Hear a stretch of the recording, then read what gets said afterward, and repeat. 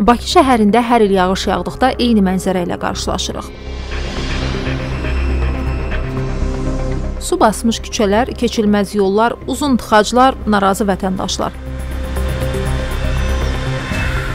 Bu il də ötən illərdən fərqlənmədi. Göydən bir damcı yağış düşər-düşməz bəzi ərazilərdə yollar bərbad vəziyyətə düşüb.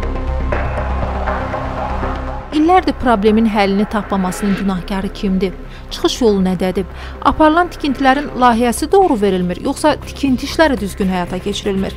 Aidiyyatı qurumlar isə ya sualları cavablandırmır, ya problemi kanalizasiya sisteminin işləməməsi ilə əlaqələndirir, ya da bir-birini günahlandırırlar. Mediapost bugünkü yağışla bağlı bəzi ərazilərdəki görüntüləri təqdim edir. Müzik